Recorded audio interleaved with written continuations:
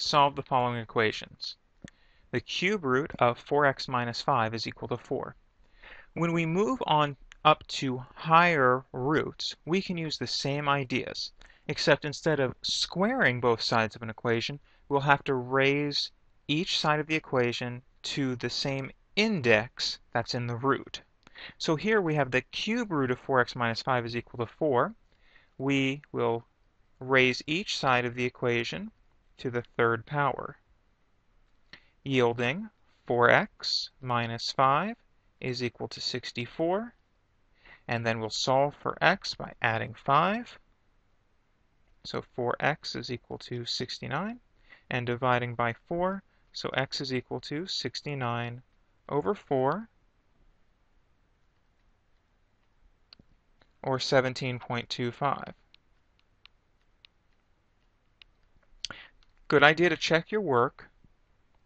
So math, let's put in math in the cube root, oops, cube root of 4 times 6, uh, 4 times 17.5, 17.25 minus 5.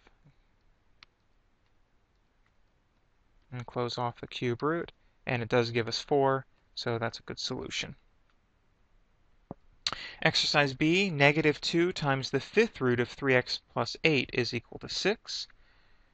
Let's isolate the radical first. I'll divide through by the negative 2. So then the fifth root of 3x plus 8 is equal to negative 3. Raising both sides to the fifth power, all right, negative 3, raise that to the fifth power, is negative 243. So 3x plus 8 is equal to negative 243.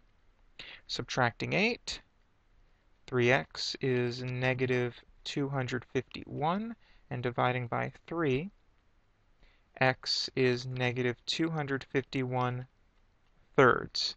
And again, you could check your solution with this using a similar procedure as in exercise A.